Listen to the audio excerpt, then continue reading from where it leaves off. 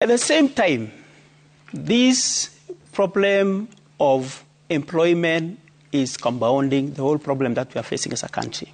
Mm-hmm. And here comes the story of Uasin Gishu.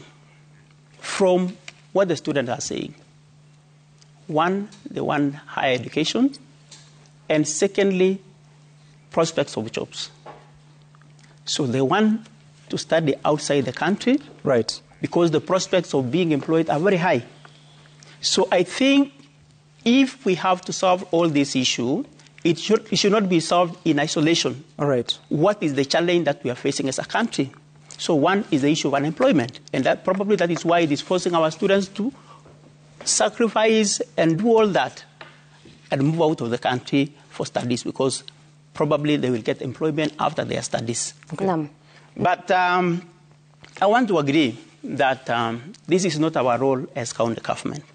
In fact, our area is ECD and vocational training Okay. centers. But sometimes we are forced to go out of our way because of the suffering of our people to at least try to alleviate that suffering. Naam. And sometimes we make mistakes.